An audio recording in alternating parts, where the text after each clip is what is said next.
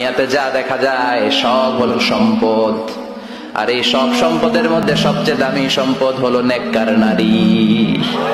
বাড়ি, গাড়ি ফ্ল্যাট সবকিছু সম্পদ। আর এই সব সম্পদের মধ্যে সবচেয়ে দামি সম্পদ হচ্ছে নেককার নারী। এজন্য বিশ্বনবী বললেন, নারীদের সাথে কোমল আচরণ করো। রিফকাম্বিল কওয়ারির, গরম হয়ে যেও না। যৌতুকের জন্য গায়ে হাত তোলো না। রান্না একদিন মজা হয় নাই, স্বাদ হয় নাই বলে পিটায়ও না।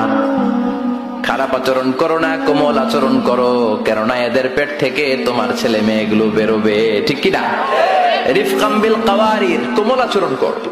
নারীদের সাথে কোমল হতে বলেছেন বিশ্বনবী। কাওয়ারির মানে গ্লাস। গ্লাস যেভাবে ধরতে হয়, রাখতে হয়, নারীদের সাথে ওইরকম আচরণ। কাচের গ্লাসকে জোরে ধরা যায়। জোরে রাখা যায়। কাচের গ্লাস ধোয়ার সময় সাবান দিয়ে যখন ধুন জোরে ধরা যাবে। জোরে রাখলে কি হবে? ভেঙে যাবে। এজন্য নারীদের সাথে কোমল আচরণ করতে হয়।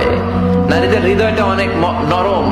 এদের সাথে যদি আপনি রেগে যান এদিকে লগে গরম হইলে এতিরা সেতি যায়। আর নরম হইলে গলি যায়। সুবহানাল্লাহ পড়েন। এজন্য ভালোবাসবেন। কি করবেন?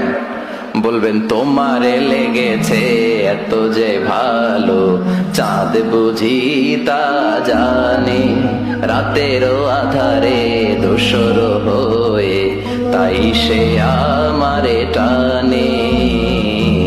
চাঁদ বুঝি তা জানে। ঠিক কিনা